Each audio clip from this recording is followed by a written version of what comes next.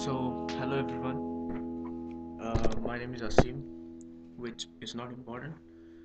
Uh, here I'm going to show you how to install Nupic on Windows. It's awful, it's very difficult. So, I hope you have Windows running on your machine and Python 2.7 at least. I don't know why, but I hope you have because even I have it and these are all the terms that you need to know before you run Nupic. I had to go through all these things, but now that you have this video, you don't need to know them anymore.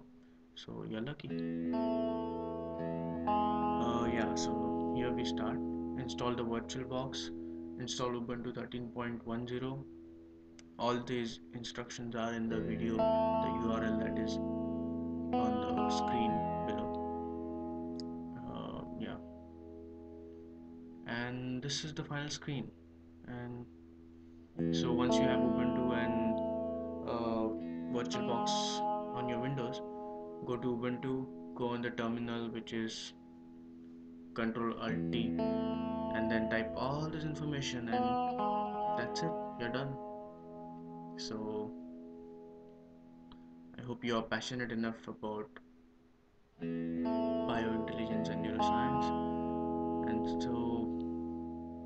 I didn't I don't want you to lose your hopes just because you could not install Nupic on Windows because installing anything on Windows is awful.